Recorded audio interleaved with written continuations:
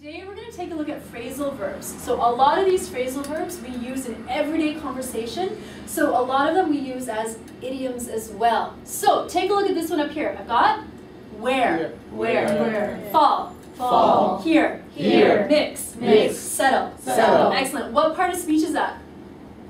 Verb. Verb. Exactly, it's a verb. So with a phrasal verb, what am I missing? The The preposition. preposition. Okay, so take a look at the sentence though. Doing my listening homework really wears me.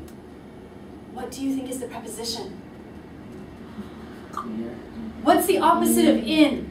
Out. Out. Out. Exactly. Good. So wear out. That's a preposition.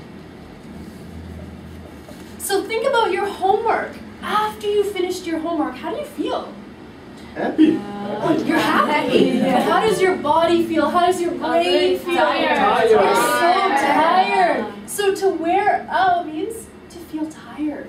Okay, that's that's a really good one. Turn. Linda, you're first. Can you give me a really good example of wear out? You can use present tense, past tense, future tense, anything you want. Okay. Uh, wear out. Uh, uh, waiting bus.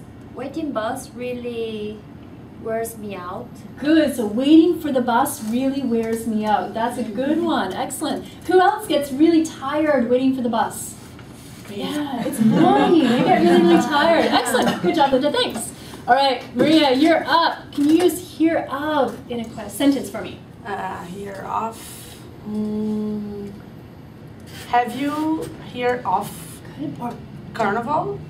Good. So don't forget past tense. Have you heard of Heard of Carnival? Do you guys know Carnival in Brazil? Yeah. Yeah. Do you want to go? Yeah. Yes, you want to go. Yeah. Mix up in a sentence. Uh, Yeah. On time I mixed up the name of my girlfriend. That's dangerous. That's dangerous. Yeah. ex-girlfriend. Oh my god. Did she uh, break up with you pretty fast? Or was she angry? yeah. Yeah. Oh, poor guy. Sorry about that, but excellent sentence. Thank you so much. Practice all of these words in conversation. Let's take a look at number five. So you can only choose three foods, and you have to settle on one. Okay, so choose between three, settle on one. These, this food, this is it. It's the only food you can eat forever and ever and ever. Right? So now I'm Canadian. What food should I choose? What food should I settle on? Uh, Canadian food or doesn't Sure. matter?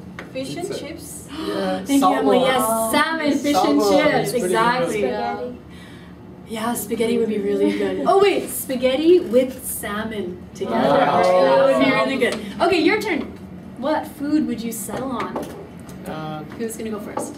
Okay, can I? Yeah, go for it, Alex. Oh, I think it's I will choose rice, beans, and meat. wait, wait, that's three foods though. You can only choose yeah, one. it's just three. Between oh, between three. Ah, okay, Uh, beans, beans. Beans. Yeah, So For sure. full sentence. I would. I would.